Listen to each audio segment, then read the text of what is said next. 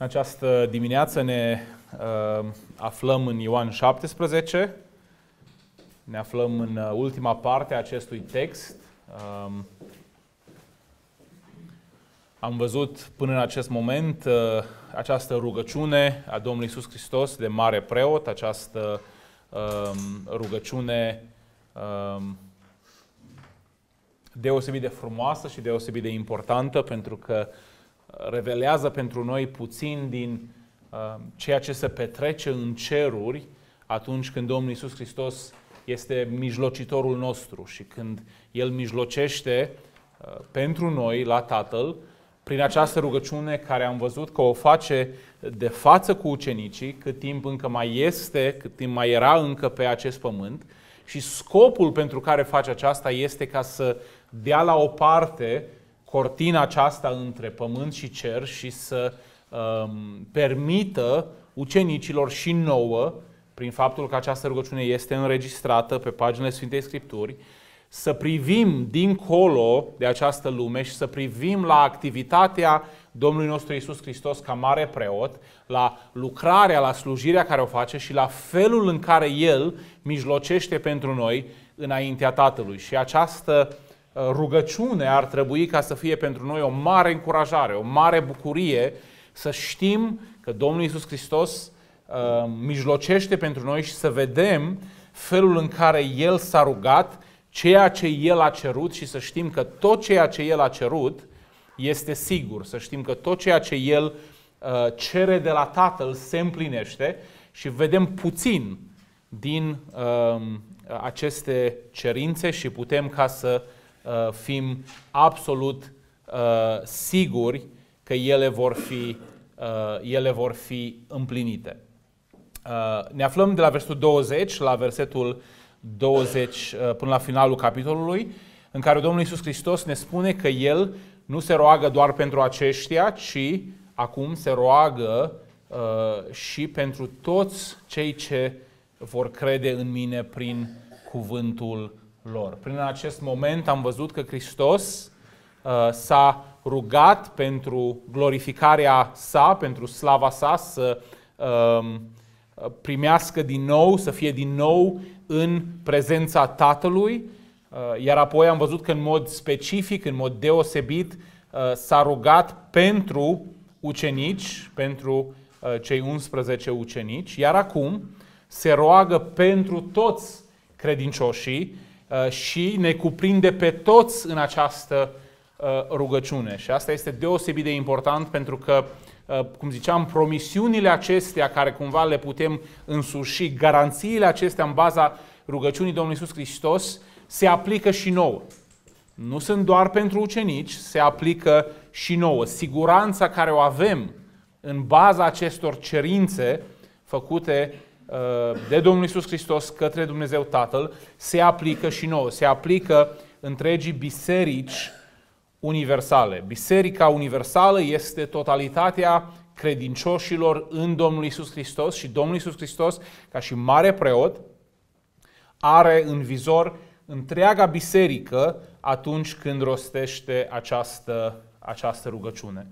Trebuie ca să faci parte din această biserică, din această mulțime, pentru ca această rugăciune să aibă vreun beneficiu pentru tine. Cum faci parte? Domnul Iisus Hristos spune că se roagă pentru toți cei ce vor crede în El. Ce anume trebuie să creadă?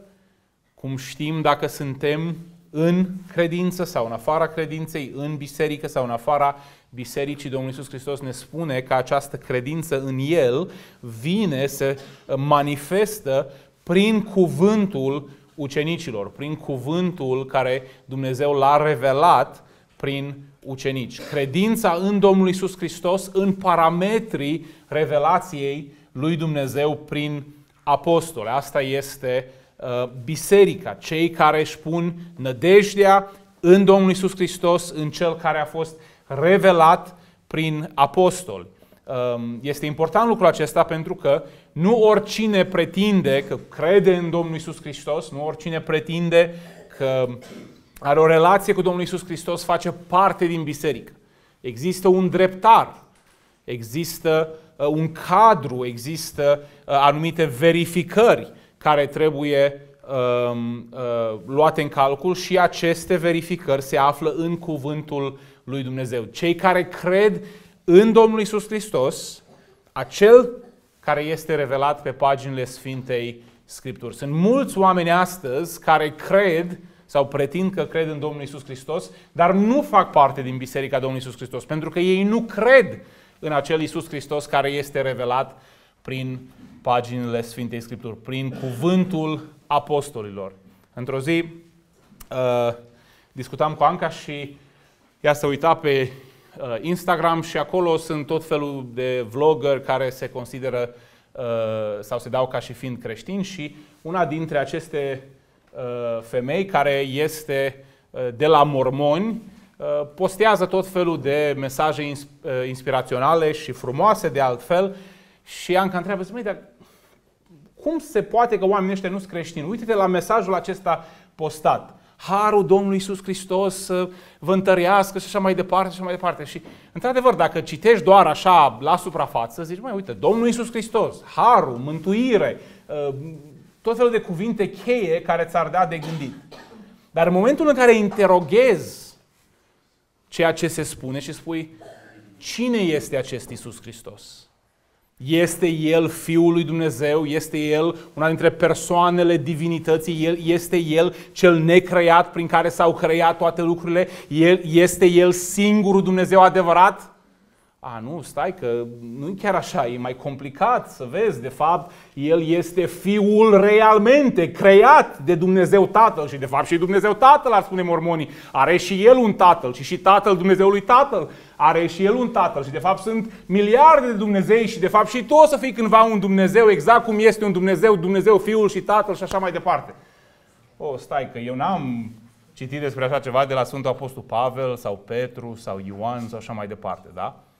Ca tare ei nu sunt creștini. Rugăciunea aceasta nu se aplică asupra acestor oameni. De asemenea, martorul Jehova sau alții care ar veni și ar spune noi suntem, noi suntem cu Domnul Isus Hristos. Noi suntem uh, parte din împărăția Domnului Isus Hristos. Dar există un dreptar. Există o verificare care trebuie făcută. Toți cei care se încred în Domnul Isus Hristos, după cuvântul apostolilor, sunt copiii lui Dumnezeu, fac parte din Biserica Domnului Isus Hristos și beneficiază de uh, această rugăciune, de această mijlocire. Toți ceilalți, din păcate, să amăgesc când își atribuie promisiunile și rugăciunile Domnului Isus Hristos lor dacă nu cred după cuvântul lui Dumnezeu. De aceea este deosebit de important să avem o credință vie, o credință adevărată, o credință biblică, să ne verificăm, să vedem dacă într-adevăr suntem în Hristos. La fel ca și data trecută, ne vom uita la cerințele Domnului Isus Hristos pentru noi și avem trei uh, cerințe majore uh, în această ultimă porțiune a textului nostru. În primul rând, vom vedea că Domnul Isus Hristos se roagă pentru unitatea creștină, pentru unitatea creștină și vom vedea că lucrul acesta este spre glorificarea lui Dumnezeu, cum de fapt sunt toate cerințele Domnului Isus Hristos. Domnul Isus Hristos se roagă ca toți să fie una, ca toți să fie una. În al doilea rând vom vedea că Domnul Isus Hristos se roagă pentru glorificarea creștină. Se roagă pentru ca ceea ce El va experimenta când se ridică la Tatăl și va fi din nou în prezența Tatălui și noi să experimentăm și să fim luați, să fim și noi în prezența lui Dumnezeu. Dar până atunci, a treia cerință, se roagă pentru maturizarea creștină, pentru maturizarea creștinului. Drumul de la mântuire, drumul de la mântuire până la glorificare, drumul de la iertarea păcatelor, justificare, până la glorificare este greu și lung și plin de văi și munți. Dacă nu considerați că am dreptate, s-ar putea să nu fiți pe același drum cu noi. Este un drum greu. Ziceam într-o discuție care aveam cu cineva care uh, în elanul tinereței și în elanul, nu că eu aș fi bătrân, uh, în elanul uh, tinereței și uh, vieții acestea, cumva se bătea în piept cu reușitele și cu starea actuală și ziceam, ai grijă, viața aceasta este mai lungă și mai grea decât îți poți da seama.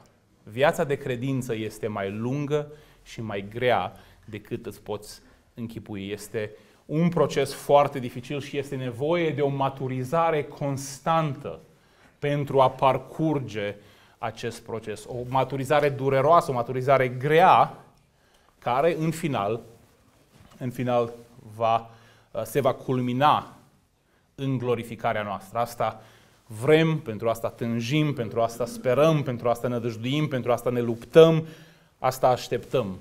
Finalul uh, zilelor când vom fi în glorie cu Dumnezeu. Deci trei cerințe majore, uh, unitatea creștină, glorificarea creștinului și maturizarea creștinului. Da? Haideți să le luăm uh, pe rând și să încercăm să vedem ce hrană are Domnul Isus Hristos pentru noi în această dimineață. În primul rând, Domnul Isus Hristos se roagă pentru unitatea creștină, pentru glorificarea lui Dumnezeu și ne dă un model pentru această unitate creștină.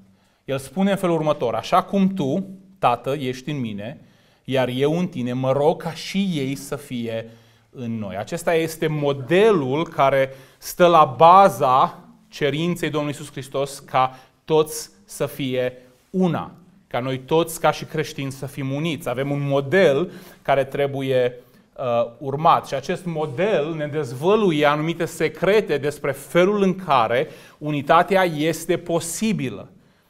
Și modelul, secretul este Dumnezeu.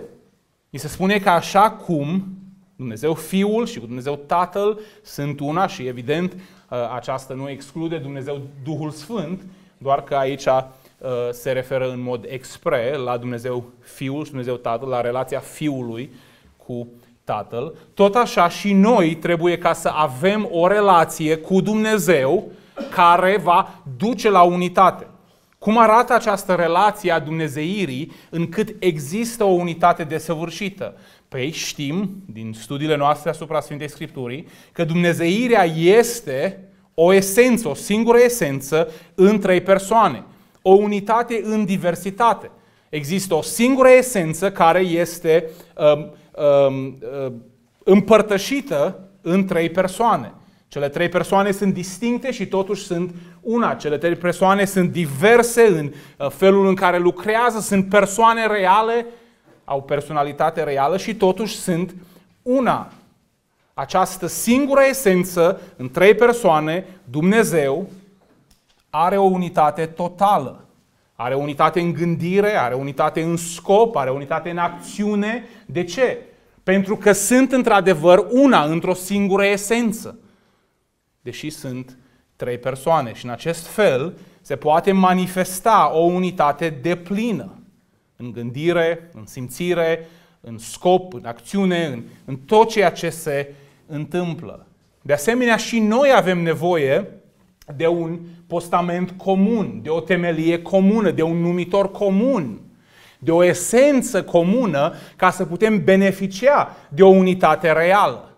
Dacă fiecare face parte de propria lui esență, de propria lui uh, identitate, unitatea noastră va fi subțire și va fi falsă. Avem nevoie de o unitate esențială. Care este esența noastră?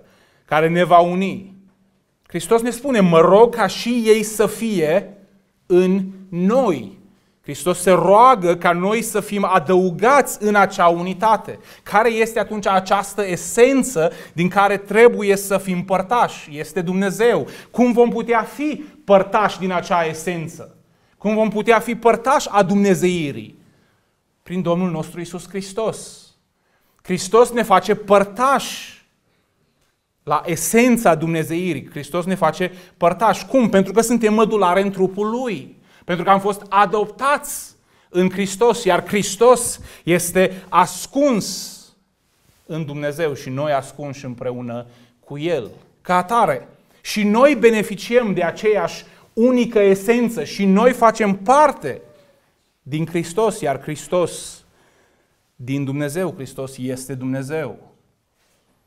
Noi suntem multiple persoane, suntem o diversitate, suntem o biserică, suntem nenumărate mădulare, dar totuși avem acea unică esență. Suntem a lui Hristos, suntem născuți din același Duh. Având aceeași esență, diversitatea noastră nu ne împiedică ca să manifestăm unitate. Având aceeași esență, diversitatea noastră nu ne împiedică ca să fim una. În cel, în gândire, în scop. La fel cum diversitatea Sfintei Treimi nu împiedică unitatea Sfintei Treimi, pentru că au aceeași esență, sunt una. Iar noi în Hristos suntem una, de aceea a murit Domnul nostru Isus Hristos, ca să strângă totul în El, la un loc. Ca atare, multiple persoane, în multiple biserici locale, în multiple orașe, în multiple țări, pe multiple continente, care în această zi sunt una în Domnul nostru Isus Hristos. Aceeași Evanghelie, aceeași credință, aceeași gândire care era și în Domnul nostru și este și în Domnul nostru Isus Hristos. Aceeași dorință, aceeași dragoste, același scop. Diversitatea nu este un impediment la unitate doar atunci când există o diversitate de esență. În creștinism nu există o diversitate de esență pentru că toți suntem una în Hristos. Există o diversitate de persoane, există o diversitate de personalități, există o diversitate de temperamente, de preferințe, dar toate acestea sunt subordonate unui singur, Domnul nostru Isus Hristos. Ca tare putem avea unitate pentru că avem acest model și avem această temelie, Domnul nostru Isus Hristos. Și în El suntem una. În al doilea rând, îi se dă o metodă, un mecanism pentru unitatea creștină. Vedem modelul cum ar trebui să arate și de ce ar putea ca să funcționeze, dar trebuie o metodă, ceva practic, un mecanism care să genereze unitatea creștină. Metoda este aceasta. Eu le-am dat, adică le-am revelat slava pe care mi-ai dat-o tu. Slava este manifestarea caracterului divin. Pentru ca ei, deci acum vedem ce s-a întâmplat, da? Și de ce s-a întâmplat, care este cauza și care este efectul. Pentru ca ei să fie una, așa cum și noi suntem una. Cum produce această revelație a caracterului divin unitate? Cum produce această uh, revelație a caracterului divin unitate între noi? Păi dacă ne uităm la model, vedem că esența divină, atunci când este împărtășită, generează unitate. Atunci când primim revelația caracterului lui Dumnezeu, slavei lui Dumnezeu, rezultatul este unitate. De ce? Pentru că primind revelația slavei lui Dumnezeu, putem ca să privim revelația slavei lui Dumnezeu, putem ca să prețuim revelația slavei lui Dumnezeu, putem ca să fim afectați de revelația slavei lui Dumnezeu. Ce este de fapt revelația acestei slave? Cum vedem această slavă? Cum vedem caracterul divin? Cum uh, privim asupra lui? Cum suntem afectați? Ce trebuie să prețuim într-un cuvânt este Hristos. El este revelația. El spune că ne-a dat slava pe care Dumnezeu i-a dat-o. Asta a fost misiunea lui pe acest pământ. El care a creat toate lucrurile, a luat asupra lui carne și a umblat printre noi plin de slavă.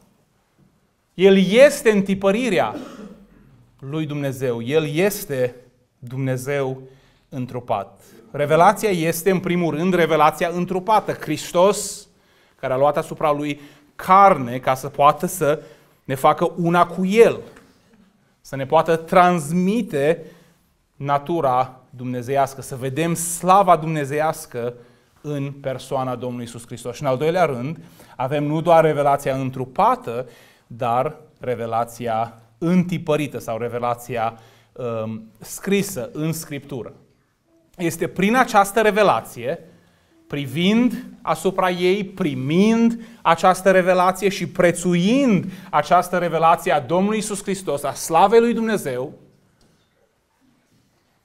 prin care unitatea se generează. Dacă vrem unitate creștină, dacă vrem unitatea Domnului Isus Hristos, dacă vrem unitatea care vine prin a fi părtași în naturii dumnezeiești, trebuie ca să primim revelația Dumnezeirii, trebuie ca să privim în mod constant asupra ei, trebuie ca să o prețuim, să devenim părtași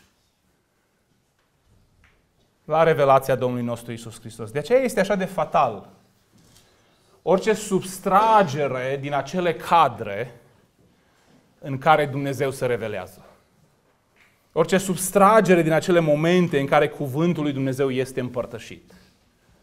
Și apoi ne întrebăm, de ce nu am relații mai bune în biserică? De ce nu am relații mai bune cu frații mei? De ce nu am unitate? De ce nu simt? Nu simți pentru că nu ești părtaș în mod constant la revelarea Domnului Isus Hristos. El a lăsat niște instrumente prin care în fiecare zi, în fiecare săptămână, să revelează copiilor săi. Vedem mai mult și mai mult și mai mult din natura și din esența lui Dumnezeu. Privim asupra ei, prețuim, împărtășim din acea esență și creștem în unitate. Care este Uh, scopul unității creștine. De ce ar trebui ca să existe această unitate? De ce vrea Domnul Isus Hristos ca să există această unitate? Domnul Isus Hristos spune în versetul 23 în felul următor. Eu în ei și tu în mine, pentru ca ei să fie pe deplin una. Astfel încât lumea să cunoască faptul că tu m-ai trimis și că i-a iubit așa cum m-a iubit pe mine. Sunt cel puțin două scopuri esențiale în acest verset. Primul este scopul eclesial. Pacea este uh, o necesitate în orice biserică. Pacea este o necesitate în orice comunitate de astfel, oricât de micro sau cât de macro ar fi ea. Pacea este o comunitate uh, la tine în familie, Familia care ar trebui să fie o oază, un mic rai pe pământ, repede devine un iad atunci când nu este pace. Și pacea poate să dispară de la cele mai mici conflicte. Pacea este o necesitate eclesială. Dacă uh, vrem ca să funcționăm ca și biserică, ca și comunitatea credincioșilor, trebuie ca să fie pace. Și cât de ușor dispare această pace este o dovadă care atestă încă gradul puternic, sever de păcătoșenie care există în noi. Dacă ați trecut vreodată în orice biserică printr-un proiect de construcție, veți vedea cât de repede poate să dispară pacea într-o biserică de la lucruri cum ar fi culoarea mochetei. Ați participat vreodată la dezbateri despre culoarea mochetei. Sunt fenomenale, sunt mai aprinse decât dezbateri teologice pe calvinism și arminianism. Pe roșu, pe albastru, pe de ce așa? Pe că uite că dacă intră și e prea aprins, nu o să aibă stare oameni în bănci, dacă e prea ă, domol, o să adormă și se bat și se ceartă și se jignesc. Sau alte chestii banale. De ce? Pentru că suntem încă imaturi. Tatăl meu, când ă, s-a renovat biserica din New York, cu mulți ani în urmă, a știut că așa ceva ar putea genera o mare problemă și a zis fraților, uite, ca să alegem culoarea mochetei, uh, vom apela la o variantă foarte simplă. Fiecare să scrie pe o hârtie uh, ce culoare ar prefera și felul ăsta nu mai are nimeni nimic de spus. Și au scris pe o hârtie, după biserică, fiecare ce a preferat și uh, s-au colectat și s-a pus mocheta în biserică. Și la un moment dat l-am întrebat, bun, cum de s-a pus culoarea respectivă, nu mai rețin, Dina poate ține minte ce culoare avea mocheta. Vișiniu, da? Și fratele Levi a spus, păi foarte simplu. Fiecare a scris pe hârtie ce culoare ar prefera și eu am pus ce culoare am vrut eu. Și toată lumea a fost împăcat. De ce? Pentru că a crezut că, implicit, i-au crezut că a fost un vot. El le-a spus că va fi un vot. Fiecare să scrie pe hârtie ce culoare ar dori și atât. Și atunci a fost pace și liniște. Câteodată e nevoie în pastorală și de înțelepciune din asta practică. Pentru că vă garantez că s-ar fi putut ajunge la o ceartă fantastică pe culoarea mochetei. Ca să funcționăm ca și biserică. Da? Ați auzit de biserici în care la adunarea generală s-au lovit în cap cu scaunele. Nu sunt povești. Sunt realități. Eu am stat de vorbă cu oameni care au fost prezenți, au scăpat vii, dar au fost prezenți când oamenii au încasat în cap scaune în adunări generale. Ați fost și voi prezenți în adunări generale în care au fost țipete și jigniri și tot felul de... De ce? Pentru că nu există sau nu există o maturitate, o unitate în, în Domnul nostru Isus Hristos. Primul scop este eclesial. Avem nevoie ca și biserică ca să existăm pur și simplu, ca să fie pace. Trebuie să fie măcar suficientă pace să ne putem întâlni la o la altă. Dacă n-ar fi pace, mulți dintre noi am zice, mă, eu nu mă duc acolo, n-am, n-am putea exista ca și biserică. Și în al doilea rând, este un scop evanghelistic, care este una dintre scopurile principale ale bisericii. Astfel încât, spune Domnul Isus, lumea să cunoască faptul că tu mai trimis. Există un mesaj care îl are biserica, un mesaj care îl are biserica despre Domnul Isus Hristos. Și acel mesaj este responsabilitatea bisericii, ca ea să-l vestească. Ea trebuie să existe într-o părtășie eclesială și ea trebuie să-și îndeplinească acest scop de a vesti Evanghelia. Și pacea este necesară. Pacea în biserică. Pacea în lume nu este necesară. Biserica a fost extrem de eficientă când n-a fost pace în lume. Biserica a fost extrem de eficientă când a fost persecutată. Biserica niciodată n-a fost eficientă când n-a fost pace în sânul ei. Când nu există pace și dragoste între frații din biserică, ea nu poate să-și îndeplinească misiunea. Pacea este o necesitate pentru existența bisericii și pentru evangelizarea care trebuie să o facă biserica. De asemenea, vedem efectul unității creștine care decurge din acest scop. Și efectul ni se arată în două feluri. Pe de o parte, ni se spune că lumea va cunoaște faptul că Hristos este de la Dumnezeu. Într-o sintagmă foarte scurtă, ceea ce ne spune Hristos aici, lumea va cunoaște că ceea ce s-a revelat prin Hristos este adevărat. Ceea ce El spune despre sine este adevărat. Că El este într-adevăr Fiul lui Dumnezeu.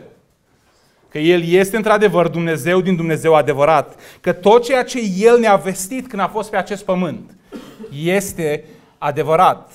Ca tot să fie una, așa cum Tu, Tată, ești în mine, iar eu în Tine.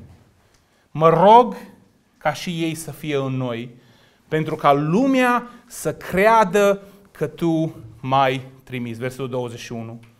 Iar în versetul 23 ni se spune, astfel încât lumea să cunoască faptul că Tu mai trimis. În scopul acesta evanghelistic, de a vesti acest mesaj și de a fi luat ca și fiind credibil, pacea și unitatea bisericească este importantă.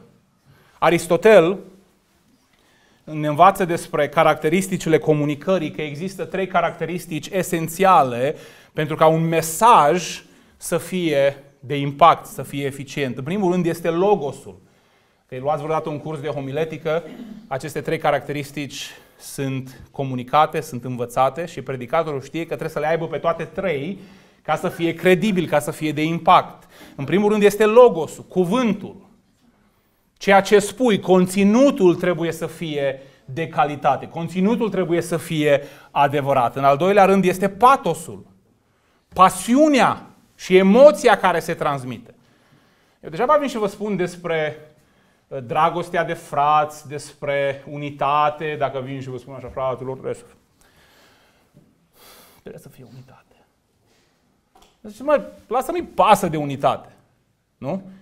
Există o emoție care se transmite. De ce? Pentru că adevărul respectiv a atins în predicator, în cel care comunică acel mesaj, o coardă a sentimentelor, el simte ceva, trăiește acel adevăr și vrea să-l comunice cu pasiune.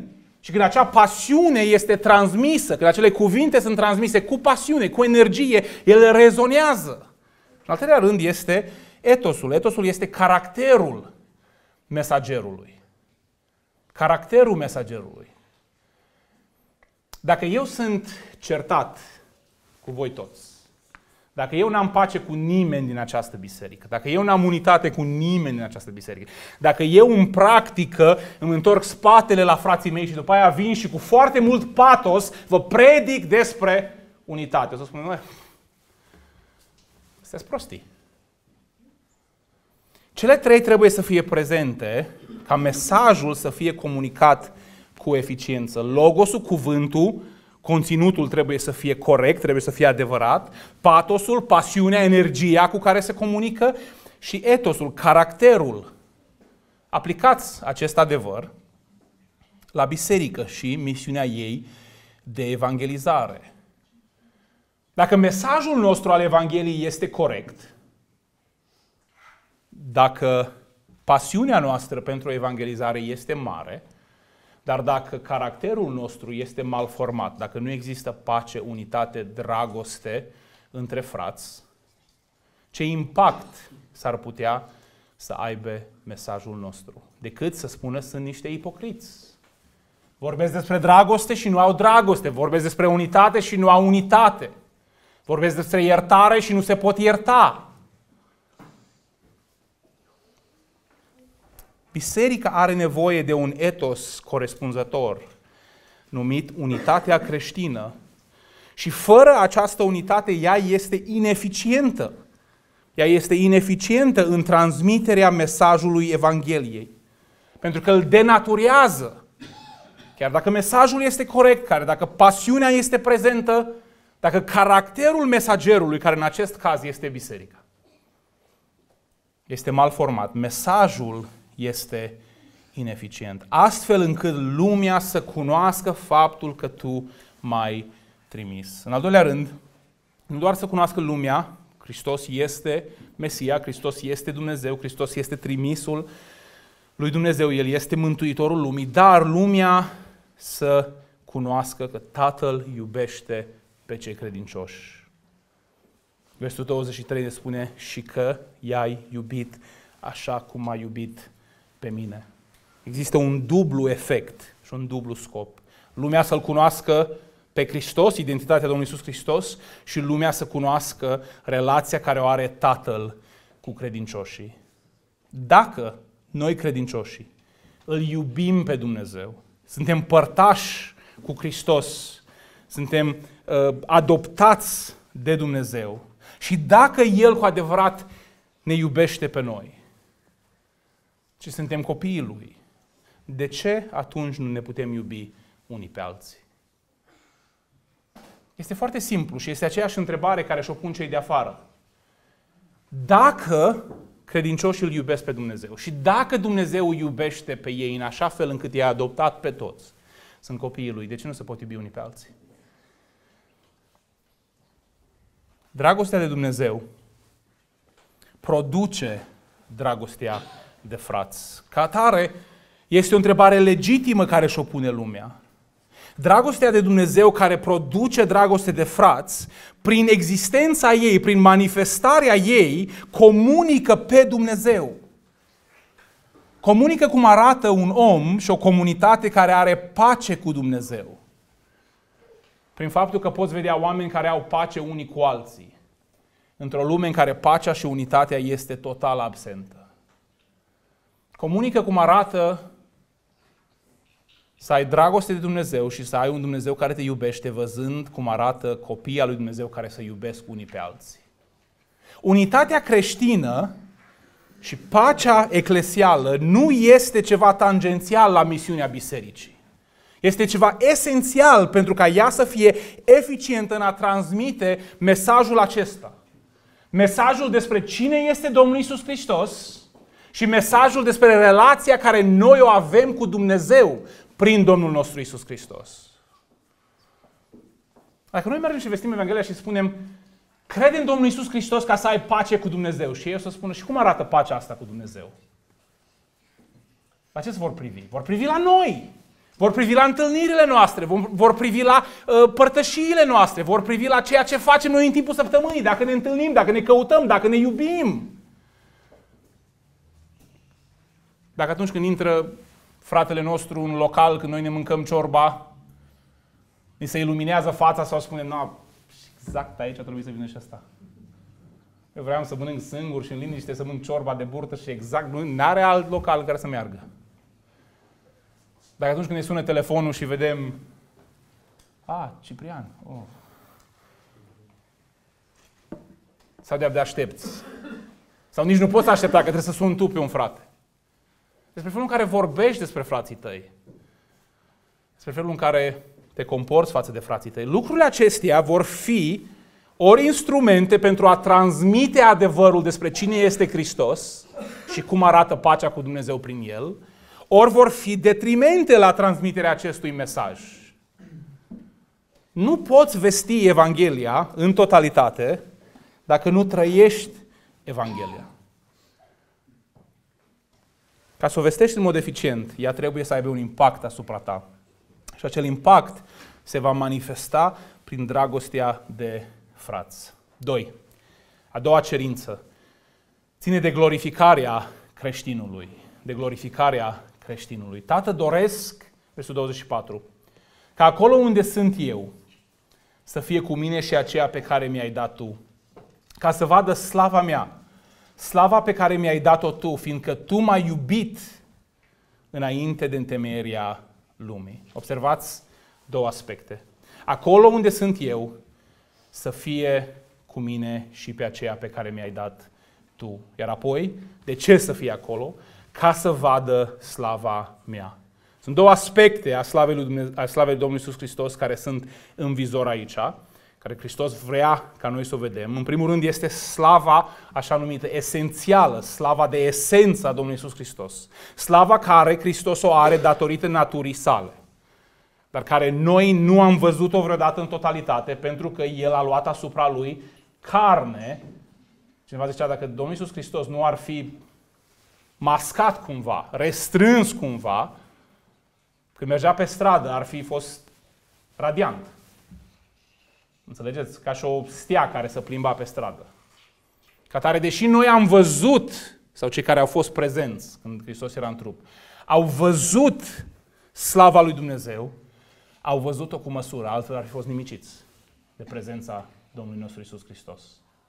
A existat o restrângere, dar când vom fi în glorie, când vom fi glorificați, vom putea privi în totalitate slava naturii sale. Pe de altă parte, există o slavă care provine din oficiul Domnului Isus Hristos. Slava care a primit-o datorită lucrării care a făcut-o. Datorită sacrificiului care l-a făcut. Și aceasta vom privi, această slavă, toată eternitatea și vom cânta despre ea și vom lăuda pe Hristos pentru ceea ce a făcut. Pentru faptul că El este mielul cel înjunghiat, mielul care a luat asupra Lui păcatele noastre. Îl vom proslăvi pentru faptul că El este marele nostru preot.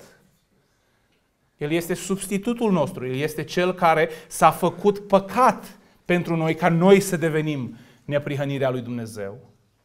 Glorificarea creștină, vedem aici, este legată de două aspecte. În primul rând este legată de prezența lui Hristos, de prezența lui Dumnezeu.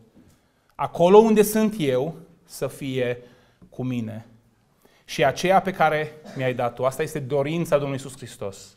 Pentru a experimenta slava lui Hristos, pentru a experimenta slava lui Dumnezeu, trebuie ca să fii în prezența neobstrucționată a lui Dumnezeu.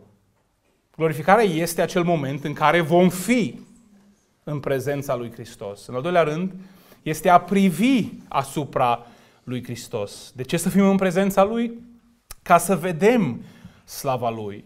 În Ioan 3 cu 2 se spune în felul următor. Prea iubiților, acum suntem copii al lui Dumnezeu și ce vom fi n-a fost arătat încă. Dar știm că atunci când se va arăta El, când vom fi în prezența Lui, vom fi asemenea Lui. De ce? Pentru că fiind în prezența Lui, neobstrucționată, îl vom vedea așa cum este El.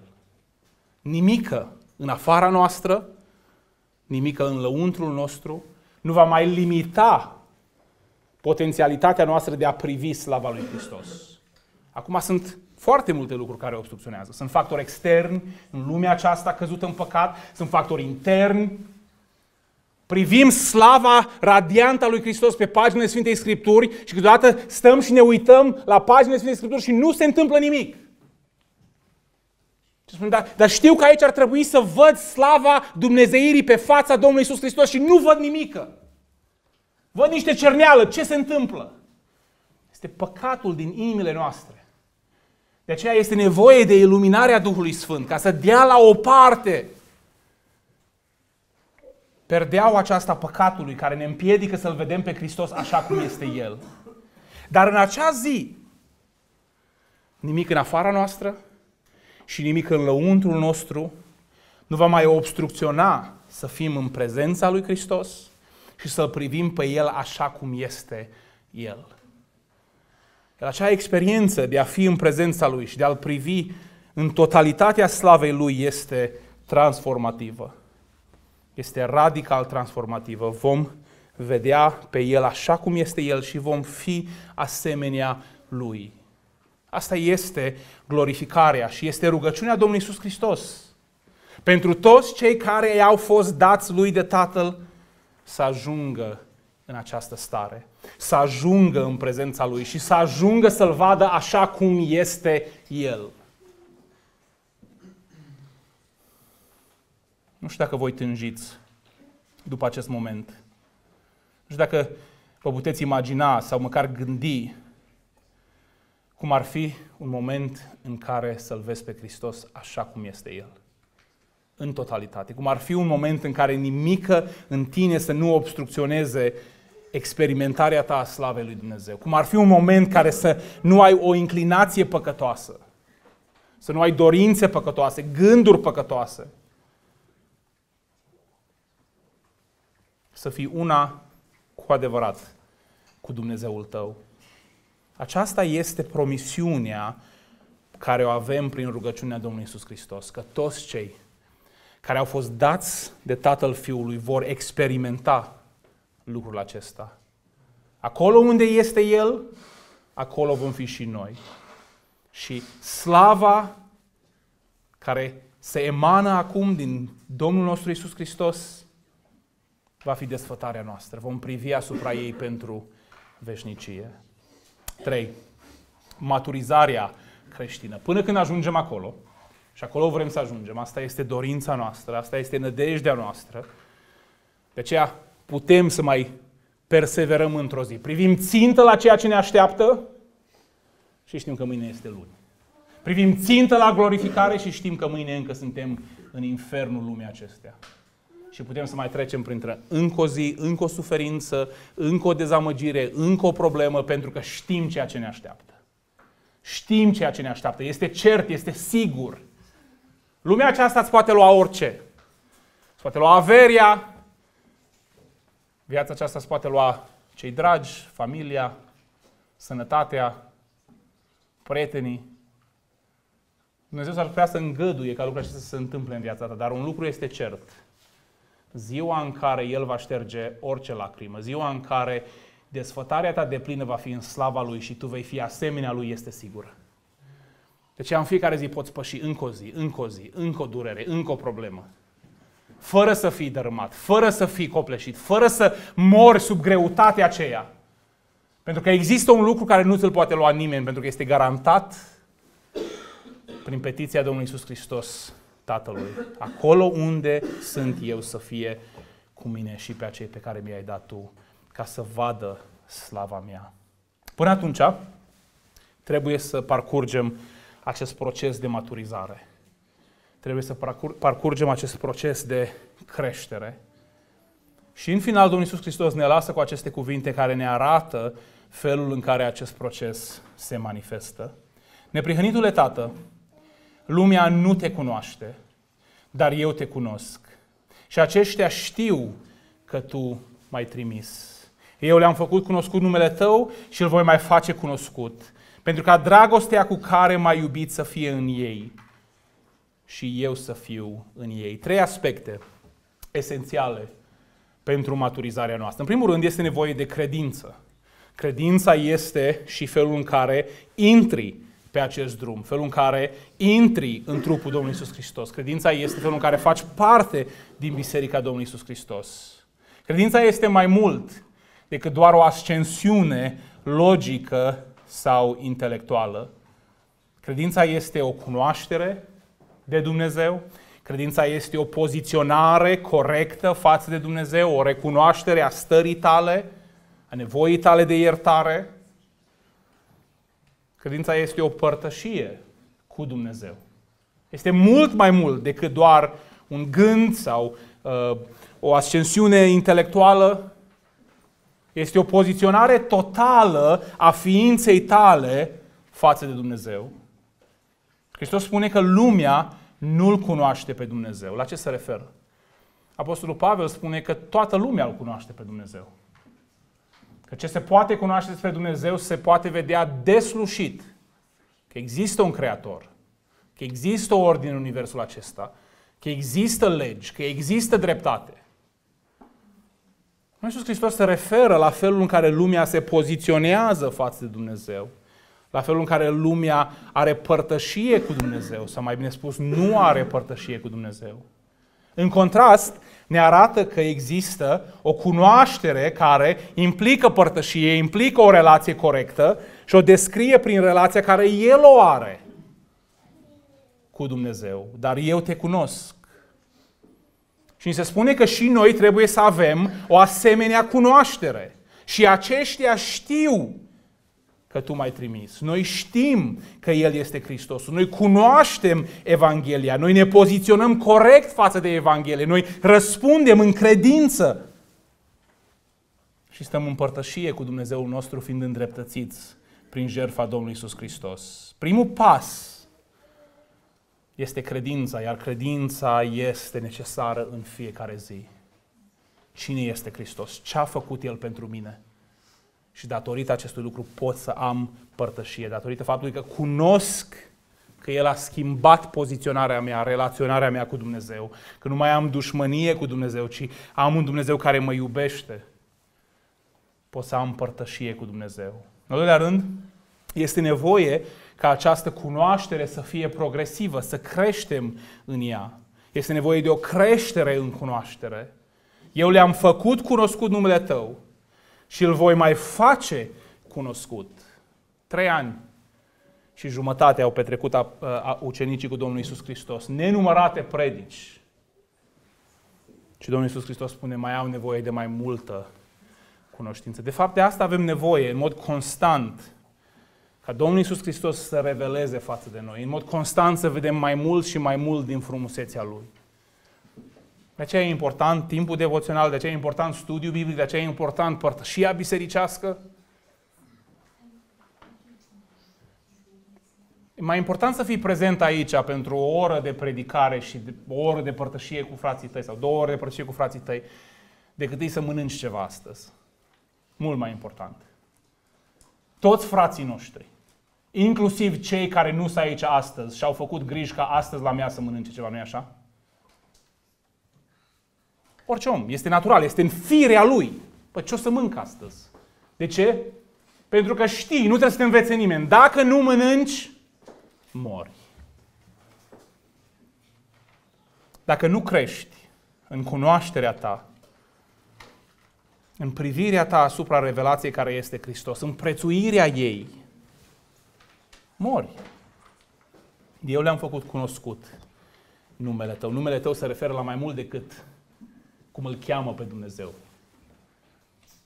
În concepția evreiască, numele lui Dumnezeu este persoana, este caracterul lui Dumnezeu, este slava lui Dumnezeu. Numele este totul și îl voi mai face cunoscut. În al doilea rând, cunoașterea aceasta trebuie ca să producă creșterea în cunoașterea lui Hristos. Trebuie să producă o creștere în dragoste față de Dumnezeu și față de frați. Pentru ca dragostea cu care m-ai iubit să fie în ei și eu să fiu în ei. Asta este scopul. Disciplinele acestea spirituale, viața de credință trăită împreună, cunoașterea noastră a lui Hristos prin cuvântul lui Dumnezeu, are scop creșterea noastră în dragostea față de Dumnezeu și dragostea față de semeni. Asta este procesul de maturizare, credință, creștere în cunoaștere, creștere în dragoste. Este prin acest proces constant, dureros, prin care vom ajunge la acea zi de glorificare. Dumnezeu să ne ajute ca să perseverăm în acest proces, ca să perseverăm pe acest drum, să realizăm că singura noastră speranță nu este aptitudinea noastră, puterea noastră, tăria noastră, ci este faptul că avem un mijlocitor care s-a rugat pentru noi, s-a rugat pentru unitatea noastră, s-a rugat pentru siguranța glorificării noastre, s-a rugat pentru procesul acesta de maturizare care ne va duce în glorie. Și pentru această rugăciune avem certitudinea că nimic și nimeni nu ne poate fura această bucurie de a fi într-o zi cu Mântuitorul nostru. Amin.